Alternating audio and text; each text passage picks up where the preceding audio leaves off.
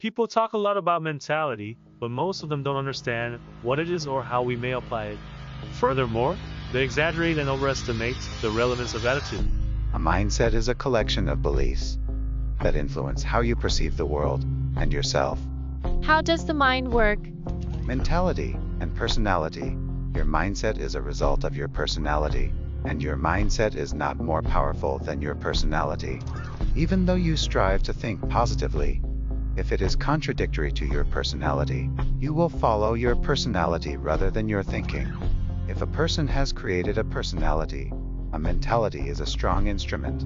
Nevertheless, if a person has not acquired a personality, a mindset is ineffective. Mindsets are classified into two types fixed and growth.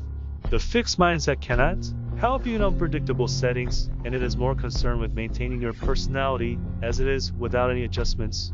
That is a negative perspective since we live in a changing world, and this thinking will not help you adjust to that environment. The growth mentality is open, flexible, and adaptable, and it is beneficial in times of uncertainty or transition. This approach helps you to grow and naturally retain your personality, and it produces the best results in the hands of a good character. Mindset can be powerful, but it must be supported by a personality. Mindset is vital, but it can't achieve anything until a person is developed. Mindset is strength only manifests itself via established personality, and only when it is congruent with personality. Personality cannot be changed by mentality, but any mindset may be changed by personality.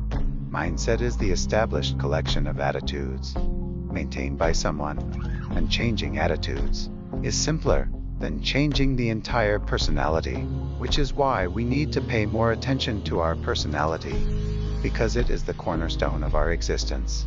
We can't construct a happy life unless we have a solid basis. Mindset should be consistent with personality. Mindset to personality is like adjusting a suit to a person, not the other way around. Even the nicest suit is useless. If it is too tiny or too large for a certain individual, you must choose the one that will fit the best. The same is true for attitude. Even the finest mindset is useless if it cannot be tailored to a specific personality. And we must be careful not to fall into the trap of believing that an attitude is more powerful than a personality since this will lead to a slew of difficulties.